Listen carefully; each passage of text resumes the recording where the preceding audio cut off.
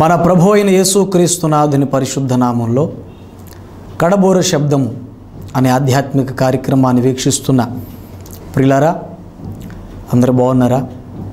మరొకసారి ఈ ఉదయకాలపు సమయంలో దేవుని యొక్క సన్నిధిలో ఆయన మాటలు ధ్యానించేటువంటి సుందరమైన అవకాశం మనకు దేవుడు ప్రసాదించాడు. కాలం చూడండి ఎంత త్వరగా వెళ్ళిపోతుందో. రెండు వేల పదిహేడో సంవత్సరం అప్పుడే మన జీవితాల్లో రెండు వారాలు గడిచిపోయింది. కాలము గడిచే కొలది కాలం పరిగెత్తే కొలది దేవుని వాక్యాన్ని ప్రేమిస్తూ దేవుని వాక్యంతో పెనవేసుకుపోతూ ప్రభు రాకడకు మనము మనలను మనము దిద్దుకుంటూ మనలను మనం సరిచేసుకుంటూ సిద్ధపడి మన జీవిత యాత్రను మనం ముందుకు కొనసాగించాలి. మంచిది ఉదయకాల సమయంలో మీరందరూ సత్యాన్ని ప్రేమించుతూ ఈ టీవీ ముందు కూర్చొని కడభోర శబ్దం అనే కార్యక్రమం ద్వారా సత్యవాక్యం నేర్చుకోవడానికి ఇష్టపడుతున్నందుకు చాలా సంతోషం. మీకు ఒక శుభవార్త. ఈ రోజున ప్రకటన గ్రంథము యొక్క అతి శ్రేష్టమైనటువంటి విషయాలను మీతో పంచుకోవాలని నాశపడుతూ ఉన్నాను. దేవుని పరిశుద్ధ వాక్యములో ఒక మాట మనం చదువుకొని సత్యవాక్య ధ్యానములోకి మనం వెళదాం. యోహాను రాసినటువంటి ప్రకటన గ్రంథము మొదటి అధ్యాయము మొదటి వచ్చినాన్ని చదువుతున్నాను దయచేసి చిత్తగించండి. యేసుక్రీస్తు తన దాసులకు కనుపరుచుటకు దేవుడాయనకు అనుగ్రహించిన ప్రత్యక్షత. ఈ సంగతులు త్వరలో సంభవింపనయున్నవి. ఆయన తన దూత ద్వారా వర్తమానము పంపి తన దాసుడైన యోహానుకు వాటిని సూచించెను. ప్రభునందు నాకు అత్యంత ప్రియులరా ప్రస్తుత కాలములో ప్రస్తుత తరములో క్రైస్తవులు విస్మరించినటువంటి లేక క్రైస్తవులు పట్టించుకోకుండా వదిలేస్తున్నటువంటి గ్రంథము ఏదన్నా ఉంది అంటే అది ప్రకటన గ్రంథం. ఎందుకు ప్రకటన గ్రంథాన్ని క్రైస్తవులు పట్టించుకోరు? అనంటే అర్థం చేసుకోవడానికి చాలా జటిలమైనటువంటి క్లిష్టమైనటువంటి కష్టమైనటువంటి విషయాలు భాష ఆ గ్రంథములో వ్యక్తీకరించబడి ఉంది. అందుకని దాదాపు క్రైస్తవులు ఆ గ్రంథాన్ని అర్థం చేసుకోవడం కష్టం కాబట్టి చదవటం మానేశారు. ఆ గ్రంథాన్ని పట్టించుకోవటం మానేశారు. ప్రియులారా ప్రస్తుత తరంలో ప్రస్తుత కాలంలో మనం అత్యవసరంగా ధ్యానించవలసినటువంటి గ్రంథం ప్రకటన గ్రంథం. ఎందుకంటే యేసునాథుని యొక్క రెండవ రాకడను గూర్చి స్పష్టీకరించేటువంటి గ్రంథము ప్రకటన గ్రంథమే. ప్రస్తుత తరములో మనకి ఇది చాలా అవసరం. చదవాలి ధ్యానించాలి. అవును ప్రకటన గ్రంథము నాకు అర్థం కాదు కాబట్టి నేను దాన్ని చదవను అని ఒకవేళ మనం దాన్ని పక్కన పెట్టేస్తే దేవుడు మనకు అర్థం కాని విషయాలను బైబిల్లో వ్రాయించి మనలను సందేహాలతో నింపివేసి మనకు దూరంగా ఉండటానికి ఆయన ఇష్టపడుతున్నాడని మనం నమ్మవలసి వస్తుంది. ఒకవేళ ప్రకటన గ్రంథాన్ని విస్మరిస్తే. ఎందుకంటే మనం మాట్లాడేది ఎదుటి వాళ్ళకి అర్థం కానప్పుడు మనం వాళ్ళకు పరదేశులుగా ఉంటామని అపోస్తుడైన పావులు కొరింతీలకు రాసిన పత్రిక పద్నాలుగో అధ్యాయంలో సెలవిచ్చాడు. మాటలాడుతున్నటువంటి వ్యక్తి నాకు పరదేశిగా ఉండకూడదు. మరి ఇప్పుడు దేవుడు నాతో మాట్లాడుతున్నప్పుడు ఆ మాట నాకు అర్థం కాకపోతే దేవుడు నాకు పరదేశే కదా. మరి దేవుడు మనకు దూరంగా ఉండాలని పరదేశిగా ఉండాలని అనుకుంటున్నాడా? కాదు కదా. అపోస్తులుడు కార్యముల గ్రంథము పదిహేడవ అధ్యాయం ఇరవై ఆరు ఇరవై ఏడు వచనాల ప్రకారంగా ఆయన మనలో ఎవనికిని దూరముగా ఉండువాడు కాడు. మరి దేవుడు మనకు సమీపముగా ఉండాలనుకుంటున్నప్పుడు ఆయన చెప్పేది కూడా మనకు అర్థం అవ్వాలని ఆయన అనుకుంటున్నాడు. మరి అలాగైతే ప్రకటన గ్రంథము నాకు అర్థం కావటం లేదు కాబట్టి నేను దాన్ని పట్టించుకోను అని మనం దాన్ని విస్మరించటం ఎంతవరకు సమంజసము? మీకు తెలుసా? ప్రకటన గ్రంథాన్ని ఎవరైతే చదువుతారో ఎవరైతే ధ్యానిస్తారో ఎవరైతే గైకుంటారో వారు ధన్యులు అని ప్రకటన గ్రంథము మొదటి అధ్యాయం మూడో వచనంలో రాయబడి ఉంది. మరి మనం ధన్యులం అవ్వాలనే కదా దేవుడి గ్రంథాన్ని ఇచ్చాడు? అసలు ఈ గ్రంథాన్ని మన కొరకు రాయించింది అందుకోసమే కదా? కాబట్టి ఈ రోజున ప్రకటన గ్రంథము యొక్క ప్రస్తావన మీతో పంచుకుంటున్నాను. చిత్తగించండి. దేవుడు మనతో మాట్లాడుతున్నాడు దేవుడు మనకు ఒక ప్రాముఖ్యమైన సందేశాన్ని తెలియజేస్తున్నాడు. యేసునాథుని యొక్క రెండవ రాకడ యేసునాథుని యొక్క ప్రత్యక్షత రెండవ సారి వచ్చేటువంటి ప్రత్యక్షత. మనం అర్థం చేసుకోవడానికి ఖచ్చితంగా ప్రకటన గ్రంథాన్ని మనం ధ్యానం చేయాలి.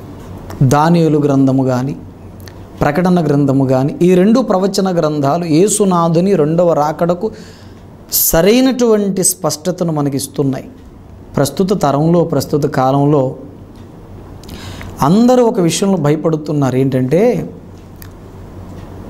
భవిష్యత్తు ఎలా ఉంటుంది? ఏం జరగబోతుంది? ఉదయం లేచిన కాంచి రాత్రి పడుకునే వరకు మనుషులందరూ కూడా వారి వారి పనులు చేసుకుంటూ వారి వారి కార్యకలాపాలు నిర్వర్తించుకుంటూ నిర్వహించుకుంటూ మనసులో ఒక ప్రక్కన భయం అనేది ఆవరించేసి భవిష్యత్తు ఎలా ఉండబోతుంది?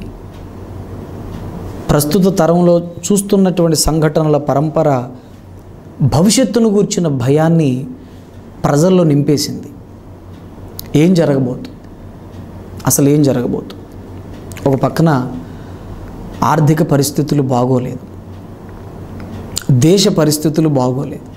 సంఘటనలు కొత్త కొత్తగా ఉన్నాయి వింత వింతగా కనబడుతున్నాయి. జరిగే పరిస్థితులు రాజకీయ పరిస్థితులు ఆర్థిక పరిస్థితులు చాలా వింత పరిస్థితులు మనకు కనబడుతున్నాయి. సో తద్వారా ఏం జరగబోతుంది? రోజు రోజుకి క్రొత్త క్రొత్త రోగాలు శాస్త్రవేత్తలు గుర్తిస్తున్నారు. ఇవాళ కొత్త రోగం వచ్చిందంటే మళ్ళీ రేపు ఇంకో క్రొత్త రోగం కనబడుతుంది. ఒక క్రొత్త రోగం కనపడేసరికి దాని కొరకు ఒక మందులు కనుగోటానికి మళ్ళీ శాస్త్రవేత్తలు ప్రయత్నాలు చేస్తున్నారు. ఇప్పుడు ప్రస్తుత తరములో ఉన్నటువంటి పరిస్థితులు మనల్ని గందరగోళంలో పడేసింది ఒక రాజకీయ పరిస్థితులు చూడండి. మొత్తం అన్ని రాష్ట్రాల్లో అన్ని దేశాల్లో ఈ మధ్య అమెరికా దేశానికి ట్రంప్ అనే అతను అధ్యక్షుడిగా ఎన్నికయ్యాడు. ఎప్పుడైతే అతను ఎన్నికయ్యాడో ప్రపంచ దేశాలలో ఒక రకమైనటువంటి గందరగోళం ఆవరించింది. ప్రపంచ యుద్ధం రాబోతుందేమో? ట్రంప్ గురించి కాకపోయినా ప్రస్తుత దేశ పరిస్థితులు చూస్తున్నప్పుడు ప్రపంచ యుద్ధం వస్తుందేమో? మూడో ప్రపంచ యుద్ధం వస్తుందేమో? అనేటువంటి భయముతోటి ప్రజలు ఉండిపోయారు ప్రిలారా ప్రపంచ దేశాలు అగ్రరాజ్యాలు అనబడినటువంటివి కొన్ని ఆయుధ సామాగ్రిని రోజు రోజుకి పెంచుకుంటూ పోతున్నాయి. ఆ మాటకు వస్తే అన్ని దేశాలు కూడా ఆయుధ సామాగ్రిని పెంచుకుంటున్నాయి. ముఖ్యంగా అగ్రరాజ్యాలు. ఒకవేళ ఈ అగ్రరాజ్యాలు గనక వారి దగ్గర ఉన్నటువంటి ఆయుధాలను గనక ఉపయోగిస్తే వాడితే నాలుగు వందల కంటే ఎక్కువ ఇలాంటి ప్రపంచాలను భస్మీపటలం చేయొచ్చట. నిపుణుల అంచనా. ఒకవేళ అగ్రరాజ్యాల దగ్గర ఉన్నటువంటి ఆయుధ సామాగ్రిని ఒకవేళ వాడితే ఉపయోగిస్తే ఇలాంటి భూములు నాలుగు వందల భూములను భస్మీపటలం చేయొచ్చట. గుండెలో ఒక రకమైనటువంటి భయం పుడుతుంది. ఇలాంటి పరిస్థితుల్లో ఒక పక్కన ద్రవ్యోల్బణం. ద్రవ్యోల్బణం అంటే ప్రతి దేశంలో కూడా కరెన్సీ విలువలు పడిపోతున్నాయి. డబ్బు విలువలు పడిపోతున్నాయి. రూపాయి విలువ పడిపోతుంది. ప్రియులరా ఏం జరగబోతుంది? పరిశుద్ధ బైబిల్ గ్రంథము ప్రకటన గ్రంథం ఈ విషయాల గురించి సరైనటువంటి స్పష్టత ఇస్తుంది. వర్ధమాన దేశాలకు ఏ అగ్రరాజ్యం అండగా నిలబడుతుందో ఆ దేశాల మీద ఈ అగ్రరాజ్యం పెత్తనం చెలాయించడానికి చూస్తుంది. ఉదాహరణకి ఒక దేశ ఆర్థిక వ్యవస్థ బాగోలేదనుకోండి ఆ ఆర్థిక వ్యవస్థను బలపరచటానికి ఒకవేళ అగ్రరాజ్యాలు ఏమైనా పూనుకుంటే ఈ దేశాల మీద వాళ్ళు పెత్తనం చేస్తారు. ఒక దేశంలో ఆర్థిక వ్యవస్థ బాగోనప్పుడు పాలనా వ్యవస్థ యొక్క అధికారాన్ని పాలనా వ్యవహారాలను ఆ చిన్ని దేశాలకు ఆర్థిక స్వాలంబన కలిగించినటువంటి అగ్రరాజ్యాలు పాలనా వ్యవస్థ అధికారాన్ని కూడా చేతులకు తీసుకుంటాయి. జరిగిందదే జరగబోతుందదే. ప్రియులారా ఈ ప్రపంచం ఎటుపోతుంది? మానవ జాతి గమ్యం ఏంటి గురేంటి?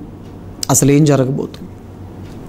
ఇత్యాది విషయాలన్నీ ఆలోచించినప్పుడు సగటు భారతీయుడు లేక సగటు క్రైస్తవుడు సగటు మానవుడు హృదయంలో ఉండవలసినటువంటి ధ్యాస ఉండవలసినటువంటి ఆకాంక్ష ఉండవలసినటువంటి తృష్ణ ఏంటి? వీటన్నిటి గురించి మనకు అవగాహన కలిగించేటువంటి గ్రంథాలు ఏమైనా ఉన్నాయి అనంటే అది ప్రకటన గ్రంథం. ప్రకటన గ్రంథము మన బ్రతుకు యొక్క భవితవ్యాన్ని మన జీవిత భౌతవ్యాన్ని దేశ భవితవ్యాన్ని ప్రపంచము యొక్క భవిష్యత్తును స్పష్టీకరించేటువంటి గ్రంథం. అలాంటి గ్రంథాన్ని ఈ రోజున క్రైస్తవులమైనటువంటి మనం ప్రక్కన పెట్టడం విస్మరించటం ఎంతవరకు సమంజసం? ఆలోచన చేయాలని కోరుకుంటున్నాను విజ్ఞులు.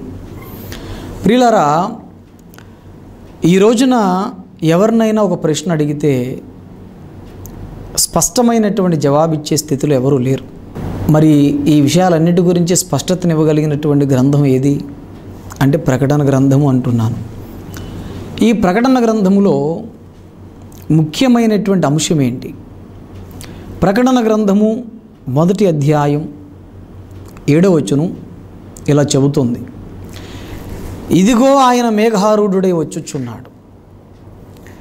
ప్రతి నేత్రము ఆయనను చూచును.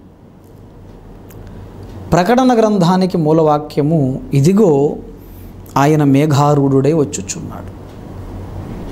ఇది ఏసునాథుడు వచ్చేస్తున్నాడు. ఏసునాథుని రెండవ రాకడ.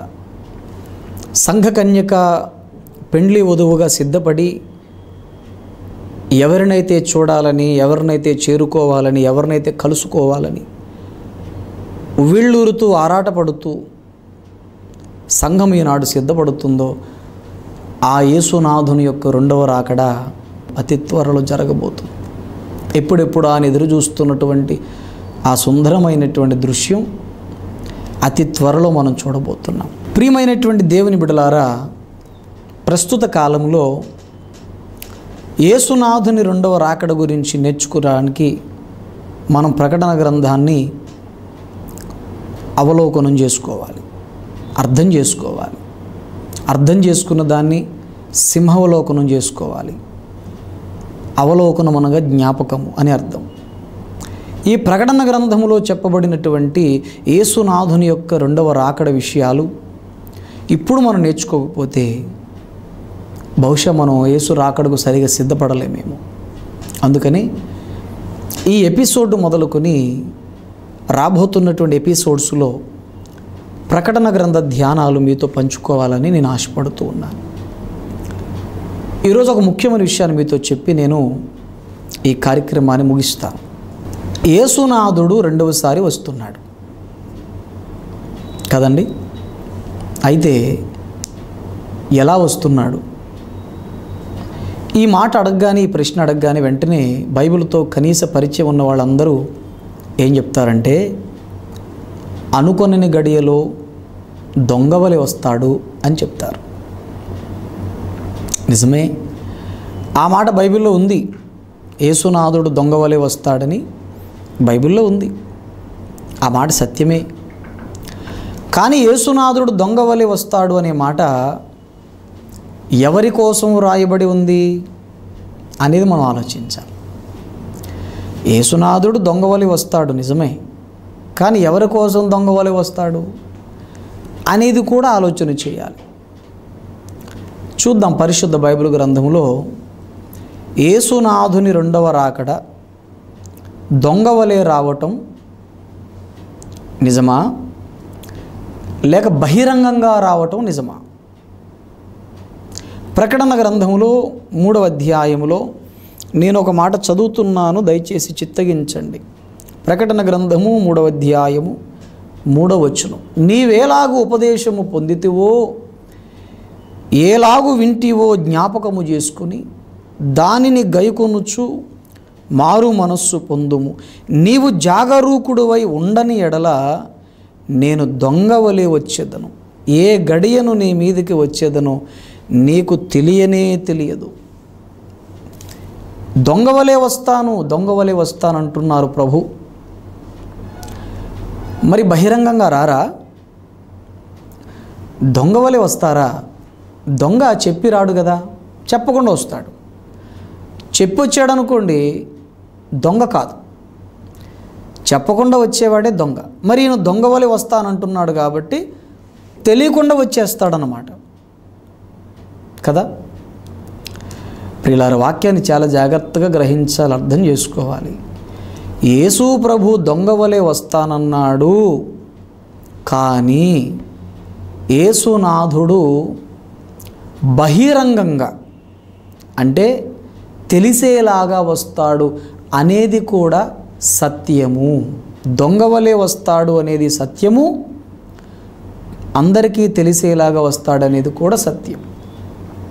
కొంచెం క్లారిటీ ఇస్తాను వినండి. మీరు అనుకోనని గడియలో మనుష్య కుమారుడు వస్తాడు మీరు అనుకోనని గడియలో యేసు వస్తాడు దొంగవలే వస్తాడు అని అంటే అక్కడ ప్రకటన గ్రంథము మూడవ అధ్యాయం మూడవ వచనంలో దొంగవలే వచ్చేదను అన్న మాట ఎవరికి చెప్పాడు? నీవు ఎలాగ ఉపదేశం పొందితివో ఎలాగో వింటివో దానిని గైకొనాలి ఒకవేళ నీవు గనక గైకొనకుండా జాగరూకుడువై ఉండకపోతే నేను దొంగవలే వస్తాను అని అన్నాడు. అంటే ఎవరైనా ఒకవేళ వాక్య ప్రకారం బ్రతకకుండా జాగ్రత్త పడకుండా ఉంటే వాళ్ళకు ఆ రోజు దొంగ వచ్చినట్లు ఉంటుంది. అంటే దాని అర్థం ఏంటి? ఎవరైనా ఒకవేళ జాగ్రత్తగా బ్రతికితే క్రమశిక్షణతో బ్రతికితే వాక్య ప్రకారం జీవిస్తే జాగరూకులై ఉంటే వాక్యాన్ని గైకుంటూ ఉంటే ఆ రోజు యేసునాథుని రాకడా వాళ్ళకు తెలుస్తుంది వాళ్ళకు అర్థమవుతుంది వాళ్ళకు స్పష్టీకరించబడుతుంది ఆ బోర శబ్దం వాళ్ళకు వినబడుతుంది ఆయన కనబడతాడు అని అర్థం. కనుక దొంగవలే వస్తాడు తెలియకుండా వస్తాడు అని ఎన్నాళ్ళు మనం అనుకున్నాం ఎప్పుడు వచ్చేస్తాడో ఎప్పుడు వచ్చేస్తాడో అని. రావటం తథ్యం కానీ దొంగవలే వస్తాడనేది మాత్రం రక్షణ పొంది వాక్య ప్రకారం బ్రతుకుతూ వెలుగులో జీవించే వారి కోసం కాదు. మీకు మరొక మాట చూపిస్తాను. తెస్సలోని కలుగు రాసినటువంటి పత్రిక అపోస్తుడైన పౌలు తెస్సలోని కలుగు రాసినటువంటి మొదటి పత్రిక ఐదవ అధ్యాయం మొదటి వచనం. సహోదరులారా ఆ కాలములను గూర్చియు ఆ సమయములను గూర్చియు మీకు రాయనక్కరలేదు. రాత్రివేళ దొంగ ఎలాగ వచ్చును అలాగే ప్రభుదినం వచ్చునని మీరు బాగుగా తెలుసుకును మీకు తెలుసు ఆ విషయం. లోకులు నెమ్మదిగా ఉన్నది భయమేమీ లేదని చెప్పుకొనుచుండగా గర్భిణీ స్త్రీకి ప్రసవ వేదన వచ్చునట్లు వారికి ఆకస్మికముగా నాశనము తటస్థించును. గనుక వారెంత మాత్రమును తప్పించుకొనలేరు. సహోదరులారా ఆ దినము దొంగవలే మీ మీదికి వచ్చుటకు మీరు చీకటిలో ఉన్నవారు కారు. మీరందరూ వెలుగు సంబంధులును పగటి సంబంధులునై ఉన్నారు. గమనించారు ఇక్కడ? ఆ వచనం ఈ వచనం కలపండి. ప్రకటన గ్రంథం మూడు మూడు తెస్సలోనికలకు రాసిన మొదటి పత్రిక ఐదు మూడు నాలుగు వచనాలు కలిపి చదవండి. దొంగవలే ప్రభుదినం వస్తుంది అన్నాడు. కానీ ఎవరికి దొంగవలే వస్తుంది ఆ రోజు అంటే జాగ్రత్తగా లేని వాళ్ళకు చీకటిలో ఉన్న వాళ్ళకు ఏసు రాకడ దొంగ వచ్చినట్లు ఉంటుంది. దానికి క్వైట్ ఆపోజిట్ చెప్పుకుందాం. ఒకవేళ వాక్య ప్రకారం బ్రతుకుతూ వెలుగు సంబంధులుగా ఉంటే దేవుని రాజ్య సంబంధులుగా బ్రతికితే వాక్య ప్రకారం బ్రతికితే ఆ దినము బహిరంగంగా మన కళ్ళతో యేసునాథుణ్ణి చూస్తాము. బోర శబ్దం వింటాము. కనుక ప్రిలారా ప్రకటన గ్రంథాన్ని ధ్యానించేటప్పుడు మొట్టమొదటగా ఈ విషయంలో మనకు స్పష్టత రావాలి గనుక ఈ విషయం మీతో చెబుతున్నాను ఏసునాథుడు దొంగవలే మన మీదికి రాకుండా ఉండాలనంటే ఆ దినము దొంగ వచ్చినట్లుగా మనకు ఉండకుండా ఉండాలంటే ఆ బూర శబ్దం మనం వినాలంటే అది మనకు తెలియాలనంటే ఆ స్పర్శ మనకు తెలియాలనంటే ఆయన కళ్ళారా మనం చూడాలనంటే మనం వెలుగు సంబంధులుగానే బ్రతకాలి జాగ్రత్త కలిగి బ్రతకాలి వాక్య ప్రకారం జీవిస్తూనే ఉండాలి. అందుచేత ఈ వాక్యాన్ని వీక్షిస్తున్నటువంటి ప్రియమైన సోదరి సోదరుడా ఆర్థిక పరిస్థితులు బాగుండట్లేదు ఈ రోజుల్లో. ఒక ప్రక్కన దేశ పరిస్థితులు బాగోలేదు రాజకీయ పరిస్థితులు బాగోలేదు. ప్రపంచ దేశ స్థితిగతులన్నీ గందరగోళంలో ఉన్నాయి. ఇలాంటి పరిస్థితుల్లో నీవు నేను ఒక దేవుని బిడ్డగా. నేను ఒక దేవుని సేవకుడుగా నీవు ఒక దేవుని దైవజనుడిగా సేవకుడుగా. నీ ఒక విశ్వాసిగా నేను ఒక విశ్వాసిగా. మన రక్షణ మనం కాపాడుకుంటూ పగటి సంబంధులుగా వెలుగు సంబంధులుగా పాపానికి దూరంగా సాతానుకు అందకుండా లోకానికి లొంగకుండా మనం యథార్థంగా జీవించగలిగితేనే ఏసునాథుని రెండవ రాకడ మనకు స్పష్టీకరించబడి కడబోరు శబ్దం విని మేఘం మీద ఎక్కుతాము. ఏసును ఈ కళ్ళతో చూస్తాము. గనుక ప్రియులారా బైబిల్ గ్రంథాన్ని ప్రార్థన జీవితాన్ని విశ్వాసాన్ని ఉపవాసాలను నిర్లక్ష్యము చేసే క్రైస్తవులకు ఆ రోజు యేసు రాకడ దొంగ వచ్చినట్లు ఉంటుంది. వాక్యాన్ని ప్రార్థనను ఉపవాసాలను సన్నిధిని సహవాసాన్ని యథార్థతను నీతిని భక్తిని కాపాడుకుంటూ వాటిని ప్రేమించేవారు. దేవుని ప్రేమించేవారికి ఏసునాథుని రెండవ రాకడ ఆనందంగా మహిమకరంగా ఉంటుంది. మన కళ్ళతో స్పష్టంగా చూడగలుగుతాం. ఆ బూర శబ్దం మనం వింటాము. ఏసైతో పాటు యుగయుగాలు ఉండే నిత్య రాజ్యానికి మనం చేరిపోతాం. ఈ వాక్యాన్ని వీక్షిస్తున్నటువంటి మీరు ప్రతి ఆదివారం క్రమంగా దేవుని సన్నిధికి వెళుతున్నారా? బైబిల్ క్రమంగా చదువుతున్నారా? ప్రార్థన క్రమంగా చేస్తున్నారా? ఎందుకంటే ప్రపంచ ఆర్థిక పరిస్థితులన్నీ తల్లక్రిందులైపోతున్నాయి ద్రవ్యోల్బణం అనేది పెద్ద సమస్యగా ఉంది ఇప్పుడు. మరికొద్ది సంవత్సరాలలో యేసునాథుని రెండవ రాకడ జరగచ్చు జరుగుతుంది. ఇలాంటి సిచ్యువేషన్లో ఇలాంటి పరిస్థితుల్లో నీవు నేను మత్తేసు వార్త ఇరవై నాలుగో అధ్యాయం నలభై నలభై ఒకటి వచ్చినాల్లో ప్రభు చెప్పినట్లుగా ఏ గడియన మనిషి కుమారుడు వస్తాడో మీకు తెలియదు కనుక మెలకువగా ఉండుడి అని ప్రభు చెప్పినటువంటి మాటను బట్టి. నీవు నేను కూడా మెలకువ కలిగి ఉందాం ప్రార్థనా జీవితాన్ని కలిగి ఉందాం విశ్వాసాన్ని కాపాడుకుందాం. ఏసునాథుని రెండవ రాకడలు ఎత్తబడటానికి వెలుగు సంబంధులుగా ఉందాం. వెలుగు సంబంధులుగా సిద్ధపడతాం. ఇదే మిక్కిలి అనుకూలమైన సమయం. నువ్వు ఇంకా మారకపోతే నువ్వు మారు రక్షణ పొందు యేసును అంగీకరించు. ఇదివరకు నువ్వు రక్షణ పొంది ఉంటే ప్రతిదినం ప్రార్థన జీవితాన్ని బైబిల్ స్టడీని చేస్తూ కలిగి ఉంటూ పరిశుద్ధంగా జీవిస్తూ ప్రభు రాకడ కొరకు సిద్ధపడాలని వెలుగు సంబంధులకు సిద్ధపడాలని మనవి చేస్తూ రాబోతున్న ఎపిసోడ్స్లో ప్రకటన గ్రంథ ధ్యానాలను మనం కలిగి ఉందాం. చేద్దాం. యేసునాథుని రెండవ రాకడకు ప్రకటన గ్రంథాన్ని నేర్చుకుంటూ సిద్ధపడదాం. దేవుడు నీకు అటువంటి సిద్ధపాటును దిద్దుపాటును అత్యంత కృప కనికరము కలిగిన దేవుడిచ్చునుగాక అనుగ్రహించునుగాక. మీ గురించి ప్రార్థన చేస్తాను. కళ్ళు మూసుకోండి తలలు వంచండి. ప్రేమ కలిగిన తండ్రి మహాపరిశుద్ధుడా మీకు వందనాలు.